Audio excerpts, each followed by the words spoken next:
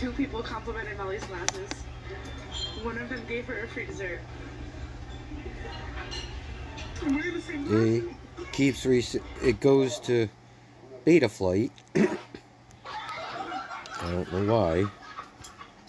And there's no other options available when I go back. And then select it again. Automatically defaults to Betaflight. Every once in a while, I'll actually be able to get into the script and quickly change things out. See if I go in here right now and quickly do that and then back back out before it says Betaflight on top then the settings will stay but as soon as I disconnect the battery it resets back to zero again.